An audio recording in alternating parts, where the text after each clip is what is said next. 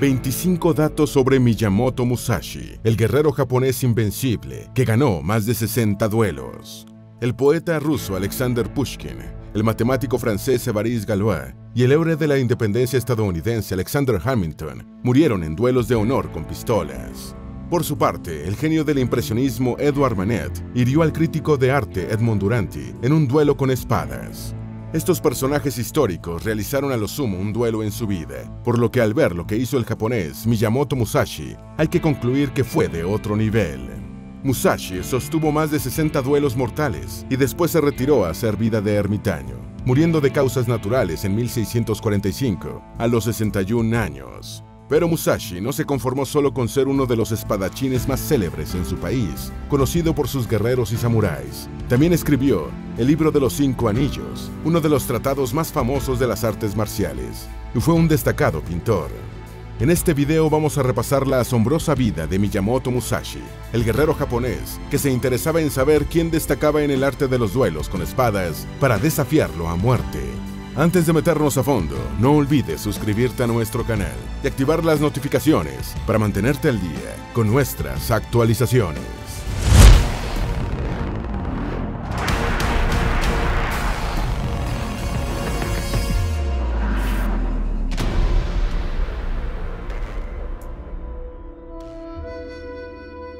Número 1. Decapitó a un jefe de clan de 12 años. Después de vencer a los hermanos Yoshoka, el clan de estos se enfureció y planeó un complot para matar a Musashi. El clan designó como nuevo jefe a Mata Shishiro, un chico de 12 años que retó a Musashi a un duelo nocturno con la intención de emboscarlo. Musashi entró en sospechas, llegó temprano al lugar del duelo y se ocultó para ver la llegada de su adversario. Tal como sospechaba, Mata Shishiro llegó acompañado por un séquito de guerreros.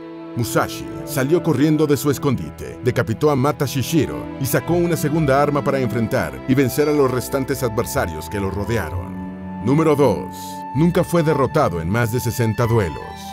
En el siglo XVII, los duelos en Japón solían ser hasta la muerte de uno de los combatientes. Miyamoto Musashi pasó buena parte de su vida viajando por todo Japón y dejando un reguero de duelistas muertos en el camino.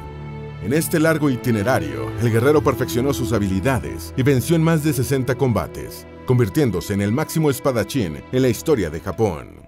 En su Tratado de Artes Marciales, el libro de los Cinco Anillos, escribió, El camino del guerrero es la aceptación resuelta de la muerte. Número 3. Derrotó a un maestro espadachín con una espada de madera. Musashi retó al famoso samurái Sasaki Kojiro a un duelo a muerte. Kojiro, apodado el demonio de Occidente, había sido el fundador de la escuela Ganryu de lucha con espadas. Kojiro utilizó una Nodachi, la espada japonesa de dos manos, más larga de lo habitual. Según la leyenda, Musashi talló una espada de madera más larga que la de su adversario, utilizando un remo, mientras viajaba a la isla en la que se celebraría el combate. El duelo tuvo lugar el 13 de abril de 1612 y Musashi mató a Kojiro con su arma de madera recién fabricada. Número 4. Ganó su primer duelo a los 13 años.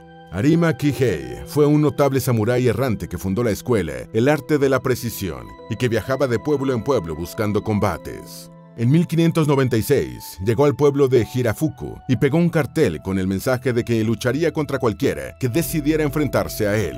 El adolescente de 13 años, Miyamoto Musashi, leyó el aviso y aceptó el reto. Dorimbo, un tío de Musashi, era un monje sintoísta. Se escandalizó por la temeridad de su sobrino. Mientras el monje se disculpaba, Musashi retó de nuevo a Kihei y lo mató con su espada de madera.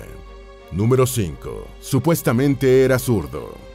Según algunas leyendas japonesas, Miyamoto Musashi era zurdo, una condición indeseable en el Japón del siglo XVII que sigue vigente.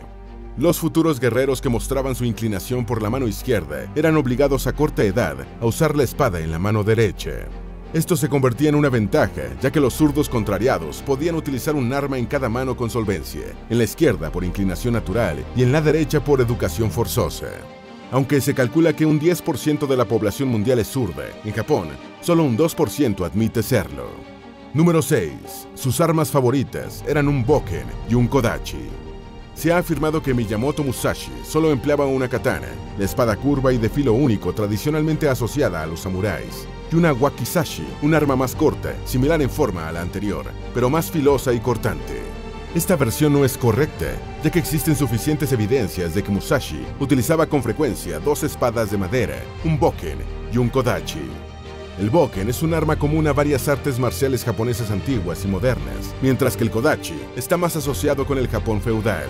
Al ser un espadachín muy hábil, Musashi no necesitaba un arma cortante y se beneficiaba de la ligereza de la madera. Número 7.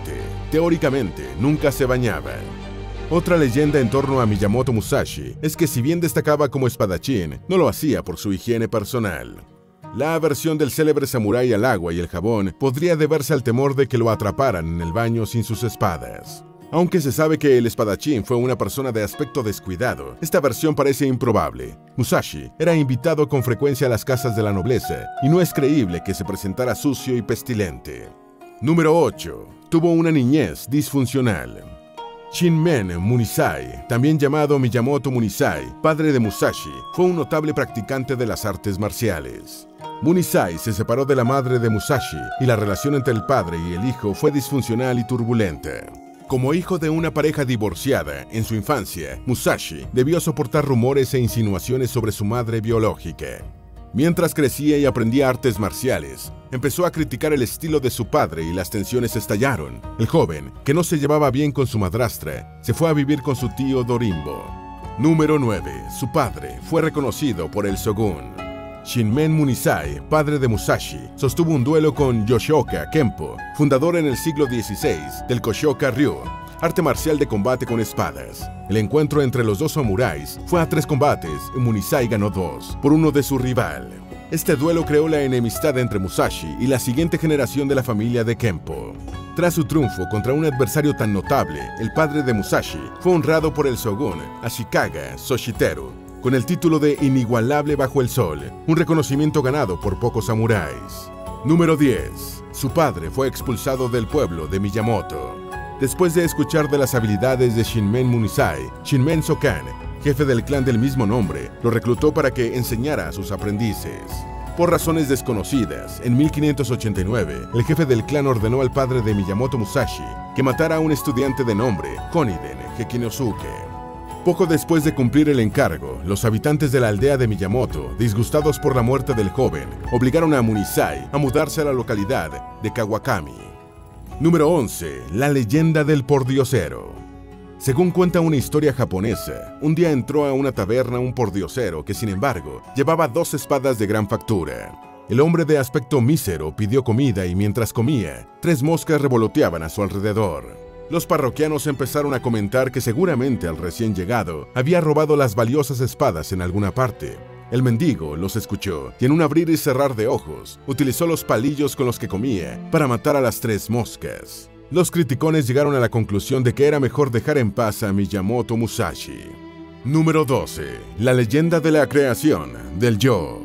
El yo, o yo, es un bastón de madera de entre 120 y 130 centímetros de largo, utilizado en varias artes marciales japonesas. Según un relato de principios del siglo XVII, el samurái Muso Konosuke Katsuyoshi perdió un duelo con Miyamoto Musashi, en el que éste le perdonó la vida.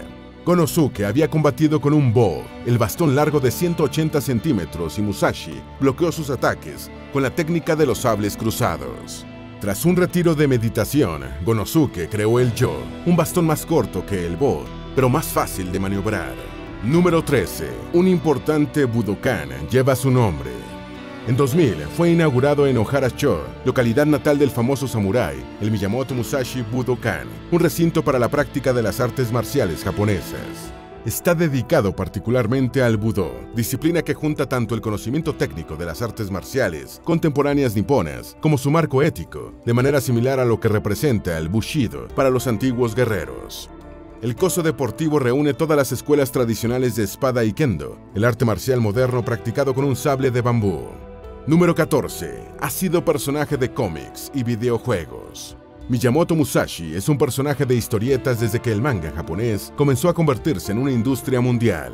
En 1935, el novelista histórico Eiji Yoshikawa hizo una serial sobre el espadachín para el popular periódico Asahi Shimbun, que se convirtió en un clásico de la ficción épica basada en la historia. Esta serie fue determinante en las siguientes representaciones del personaje, como el manga Vagabond, de la artista Tankehiro Inoue. Obviamente, en el país del PlayStation, Musashi ha sido personaje central de varios videojuegos, como Ryuga, Kotoku Kensan. Número 15. Fue un tratadista de artes marciales. Miyamoto Musashi no solo ha sido uno de los espadachines más famosos en la historia de Japón, sino que también escribió el libro de los cinco anillos, uno de los tratados fundamentales de las artes marciales. Musashi escribió la obra mientras hacía vida de ermitaño en la cueva de Reigando o Cueva del Espíritu de la Roca, cerca de la ciudad de Kumamoto. El libro trata sobre el Kenjutsu, el arte marcial japonés con la espada, de la antigua escuela, y fue terminado por Musashi pocas semanas antes de su muerte, en 1645. El tratado ha sido comparado con el arte de la guerra del chino Sun Tzu. Número 16. Su discípulo favorito fue Terao Magonojo. Terao Magonojo fue el pupilo preferido de Miyamoto Musashi, a quien entregó el manuscrito de El libro de los cinco anillos antes de morir.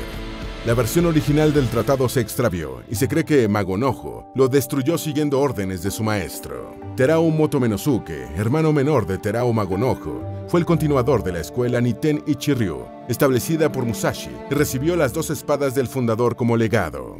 Número 17. Creó el Niten Ichiryu.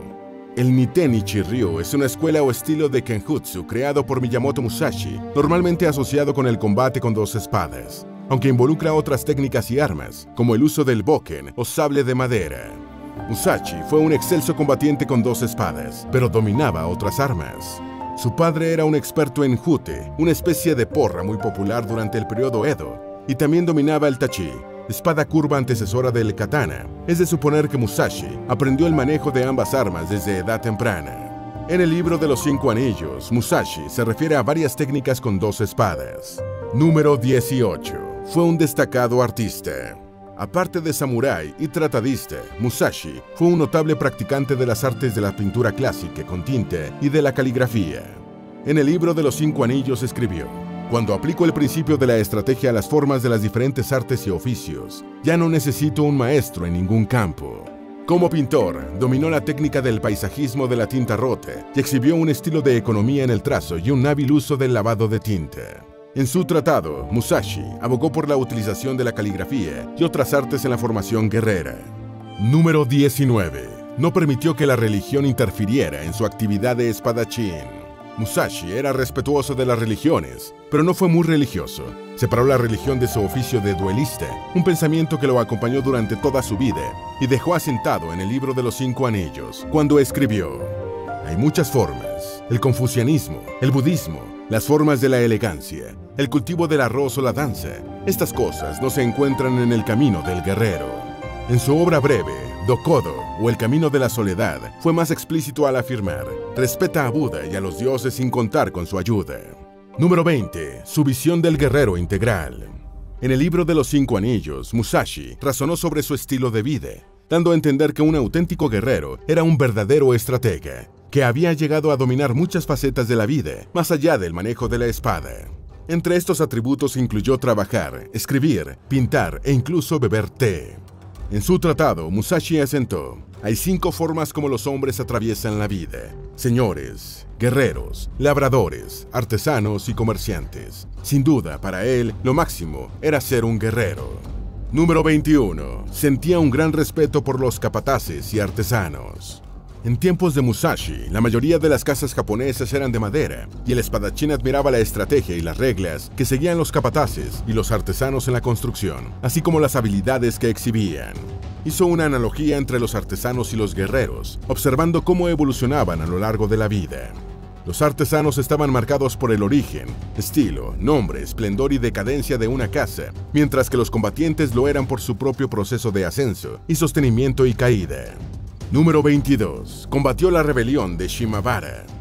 Esta fue una rebelión de los campesinos católicos japoneses que se produjo entre 1637 y 1638 durante el shogunato Tokugawa en la península de Shimabara y las islas Amakusa en la provincia de Hisen. Los cristianos ocuparon el castillo de Hara y el espadachín Miyamoto Musashi participó con el ejército del shogun en el asedio contra los rebeldes.